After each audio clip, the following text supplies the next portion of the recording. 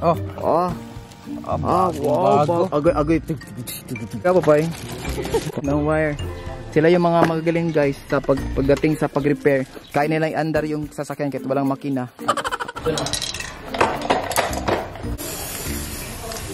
So kung ano yung sounds. Ayan.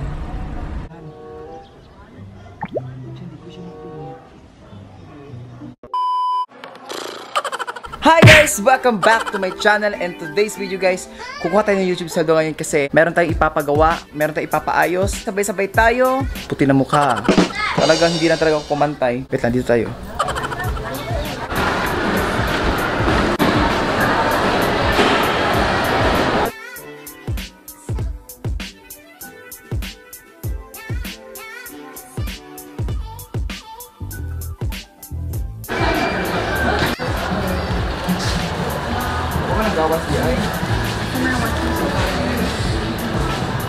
Tama na eh.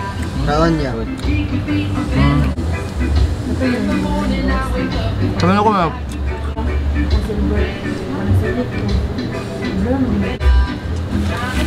Oh, yan.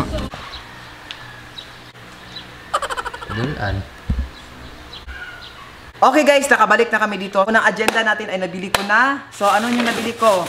Ay, sabi ko nga 'di ba, i-makeover natin yung sasakyan kasi alam niyo naman second hand yung sasakyan natin. Para maging blessing naman sa mga sasakay doon ay dapat gagawa dito ng paraan para maging okay siya. So bumili kami ng car stereo. Charot!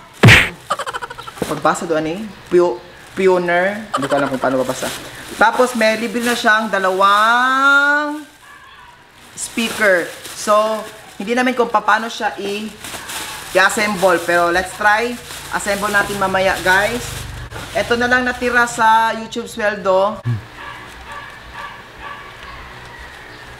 Madaming gagawin ngayon. Ito yung mga papeles, guys, ng sa YouTube. Thank you so much talaga sa inyo, guys, kasi ang daming natulungan nyo. Ministry. Wait lang, guys, ha. Isa din pala sa mga nakatulong kayo kasi dahil sa YouTube sweldo ay napagawa din namin yung CR. Halika po, sa hamakaya, guys. So, kung hindi pa nyo napanood, guys, meron akong video, guys, kung saan ko ginagamit yung pera sa church. At ito, isa din doon sa mga napagawa natin. At ang project ko ngayon ay ito din. Yan. So, ito, guys. Yan. Nakikita nyo? O, hindi pa siya natapos ngayon. Kanina, bumili din kami ng mga materials. Materials ba tawag, no? Mga materials. Ulitin ko, salamat ng sobra. Hindi lang dahil sa YouTube din, meron din mga taong ginamit ng Panginoon para, yan, para matapos lang to. Para hindi na kami mag... Kasi minsan kasi pag nag-church kami, may mga visitors kami, minsan lumalabas talaga, minsan hindi na bumabalik.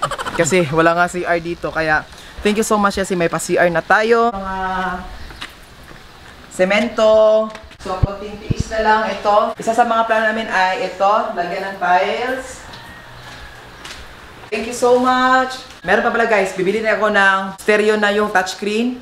Mamaya, tapos dashcam. Yun ang mga gagawin natin. So, ayun ang sasakyan guys. So, hindi ko pa siya na, no. Nandun ang sasakyan. Sana makita nyo. Pahungawan na ako. Ayan, no. Wait lang guys, ha.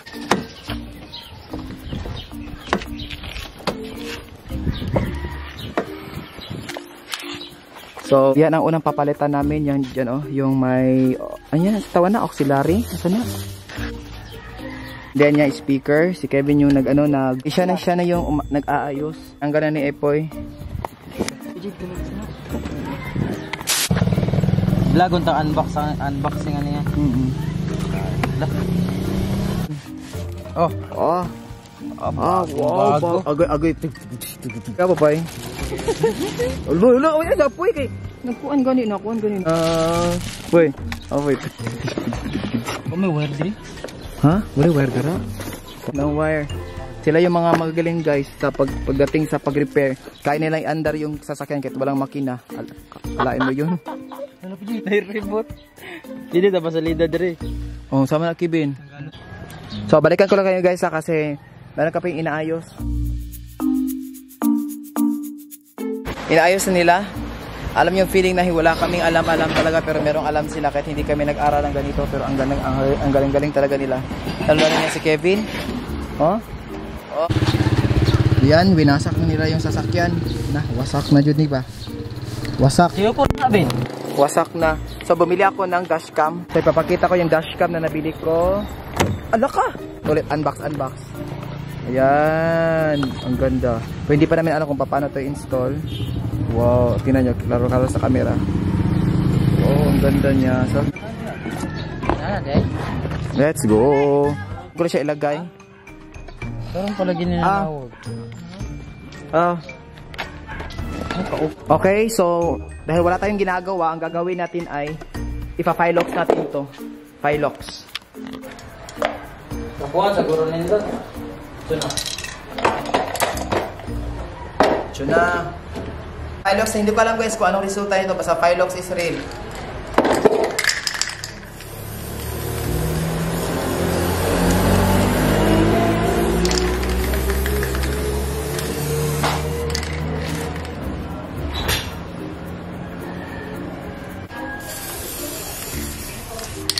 Ijaw!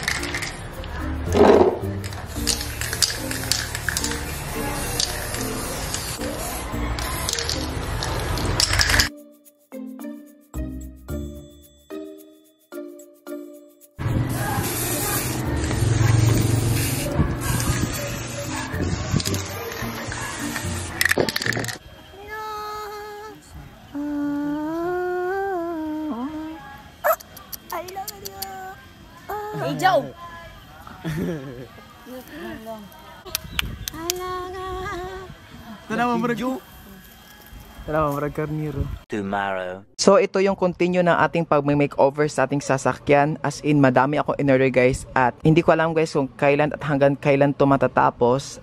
Dumating na din isa sa mga order ko. Ito to sa mga salamin. So nag-sale kasi yung Shopee. Hindi, hindi, hindi ko alam kung Shopee ba yung sale o mismo yung shop nandun sa Shopee. So nabayaran ko siya ng 189. Nag-order ako ng sa side mirror. Ayan, para mas malaki yung kita, kita, mas malaki yung, kasi yung, para mas makita talaga yung nagda-drive ay mas makita talaga kung sinong chicks dumadaan sa likod charot. Hindi, kung masasakyan, mas wide siya. Guys, unti-unti nang dating yung order ko, ayan. So, para yan sa mga gilid-gilid. Let's go! So, dito kami ngayon sa labas at nakikita nyo sobrang laki na ng sombrero ko. Dati guys, sobrang ang liit nito sa akin. Maliit sa ngayon, sobrang liit na siya. Hindi, sobrang maliit ito sa akin, masikip ngayon ay malaki na siya. Sobrang init pa guys, kaya tumigil muna kami sa pagdidisenyo.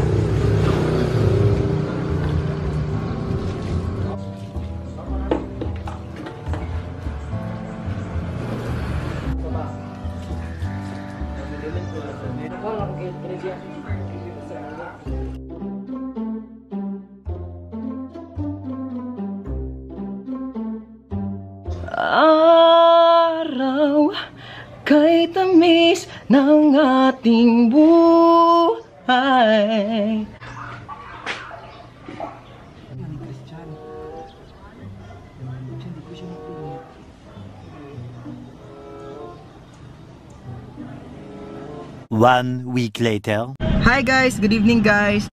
Sorry guys, natagalan ako ng update sa iyo at one week I think sobra na ngayon before ako nakapag-vlog about sa makeover ng ating sasakyan. Ngayon ko i-upload yung video kasi kailangan ko siya tapusin akong outro.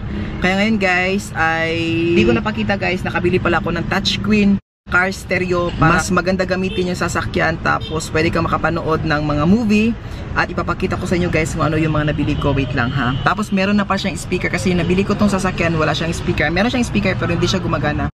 So yan ang dashcam guys. Nag on siya nag work siya yung dashcam.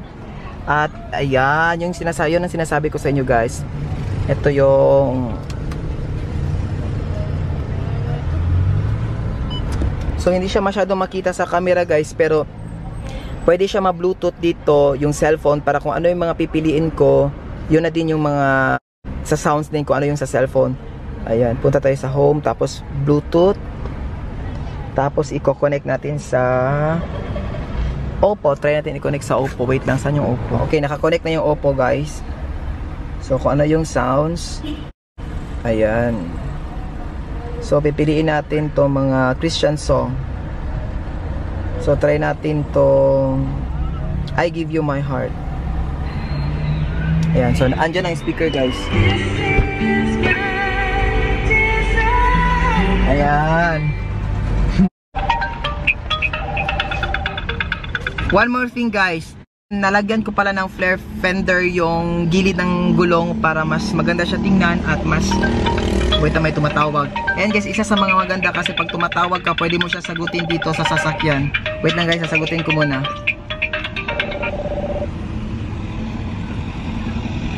Adrian, Hello, te? punta ka nga muna dito. Pakita ko guys yung picture ng fender flare para yung about sa gulong. Ayan, sobrang ganda kasi meron meron siyang design at meron siyang ano pa siya para siyang tampaludo kung sa Bisaya pa. Hindi ko alam ano ba yung tawag niyan. Okay guys, that is for today. See you guys sa next video ko kasi i-edit ko pa to tapos i-upload ko ngayon. Okay?